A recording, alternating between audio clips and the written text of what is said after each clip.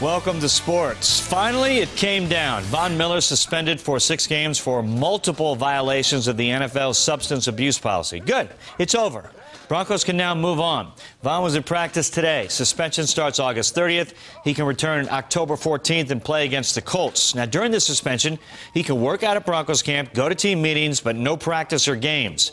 John Fox, John Elway talked late this afternoon about life without Von for now. Sometimes you can use distractions to your benefit, and the fact that distractions are also when you're getting patted on the back all the time too, which we have been quite a bit. And so I think that uh, you know this is something that you know we realize. You know, Von was a big part of our defense, and we're going to have to play and pick up for that slack that Von's not going to have there. So, um, whether it's a distraction or a bump in the road that we got to deal with, and as a football team, figure out a way to uh, you know pick up that slack. We're going to have to have guys play better. You know, everybody's going to have to step up. I know it is next man up, but he's a hard man to replace. But the guys around him have to play better. The guys on the other side of the ball have to play better, and uh, that'll be the challenge to our team. In his statement that he released, Von said he's especially sorry for hurting his team, Broncos fans, and himself. It'll cost him over 800 grand.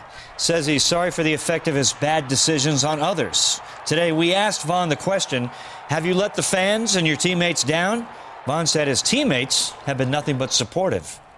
I got great teammates. You know, they from uh, from Peyton all the way to you know free agents on the spot. Everybody's been supportive of everything, and everybody, you know, believed in me. I got great teammates. Von's a, is a, one of our teammates. He's part of the family, and uh, I certainly have his back as his teammate. Uh, and I, I, know that all the players do, and the organization does. And uh, we'll get through this time, and um, we support him 100%. It's always frustrating when, whenever somebody gets a suspension, but you know we're we're still teammates. You know, everybody makes mistakes. We're not going to turn our backs on him.